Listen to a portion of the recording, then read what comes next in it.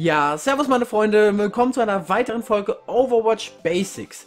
Heute werden wir uns den Spielmodus Punkteroberung genauer unter die Lupe nehmen und klären, wie das im Competitive genau funktioniert und danach noch auf die Problematik des Spielmodus eingehen, welche dafür verantwortlich ist, dass viele Spieler die Karten Oxkayas Industries, Tempel des Anubis und Hanamura, die auf diesen Spielmodus halt zutreffen, nicht wirklich gerne spielen. Also, bleibt dran!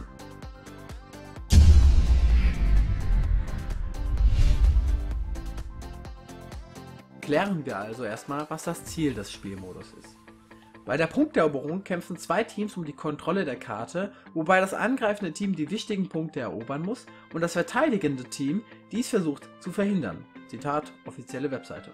Jetzt muss man natürlich dazu noch sagen, dass man immer nur einen Punkt gleichzeitig angreift und für jeden Punkt ein gewisses Zeitlimit hat, dies zu schaffen.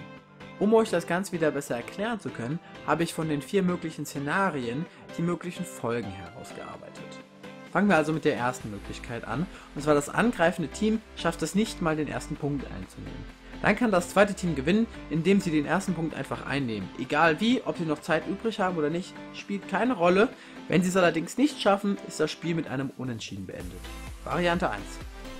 Variante 2 wäre, dass das angreifende Team den ersten Punkt schafft, aber den zweiten nicht mehr. Hierbei kann das zweite Team nur gewinnen, wenn sie beide Punkte einnehmen. Ansonsten gibt es nur ein Unentschieden, wenn sie einen Punkt einnehmen und wenn sie es nicht mal schaffen, den ersten Punkt einzunehmen, haben sie verloren. Das dritte Szenario wäre, dass das angreifende Team beide Punkte in der vorgegebenen Zeit einnimmt.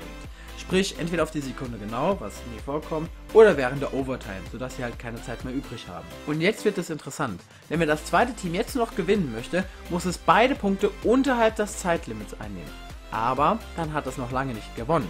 Sie haben sich quasi nur einen zweiten Versuch erkämpft. Das heißt, sie haben jetzt in der zweiten Runde noch eine Chance, mit der übrig gebliebenen Zeit den ersten Punkt wieder einzunehmen. Wenn sie das schaffen, haben sie gewonnen. Wenn nicht, ist es immer noch ein Unentschieden. Allerdings muss man wieder dazu sagen, dass die Regel gilt, wie bei den Payload Maps, und zwar, dass man mindestens eine Minute Zeit haben muss.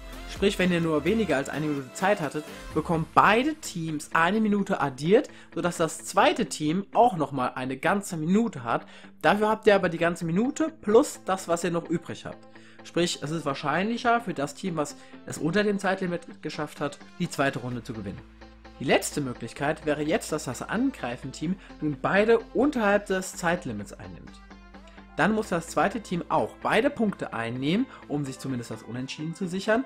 Wenn sie es aber auch unter dem Zeitlimit schaffen, kriegen quasi beide Teams eine zweite Runde, wobei bei den Punkteinnahmen keine Zeit mehr dazugerechnet wird. Das heißt, man kann theoretisch auf den Punkteeroberungen Maps ein 4 zu 4 spielen, wenn man in beiden Runden die Punkte so schnell einnehmen kann. Soweit zum Aufbau des Spielmodus. Aber worin liegt jetzt die Problematik? Schauen wir uns dazu einfach mal die Karte Tempel des Anubis an. Hier werdet ihr bei genauerem Hinsehen erkennen, dass beim ersten Punkt A beide Spawns von beiden Teams ungefähr dieselbe Strecke zum Punkt haben. Nichtsdestotrotz spielen viele verteidigende Teams mit einer Symmetra auf diesen Karten, einfach um schneller wieder am Punkt zu sein als das angreifende Team.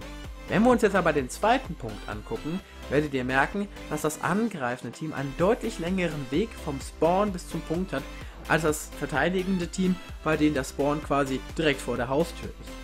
Und genau darin liegt die Problematik. Denn vor allem im niedrigen Elo-Bereich ist es so, dass die Leute einzeln einrennen. Man groupt nicht, man wartet nicht auf den anderen und man stirbt entweder einzeln oder man verliert kläglich in der Unterzahl ein Teamfight. Das bedeutet also als Schlussfolgerung, dass es bei den Karten Tempel des Anubis, Works Kaya Industries und Hanamura nochmal deutlich wichtiger ist, zu groupen und auf die anderen zu warten. Ihr könnt dann zum Beispiel hier im Vorraum warten, um dann gemeinsam einen Teamfight zu gewinnen. Und wenn ihr es schafft, alle gleichzeitig vom Gegnerteam zu töten, könnt ihr den Punkt auch einnehmen. Das war's von mir, haut rein und bis zum nächsten Mal. Viel Spaß beim Zocken.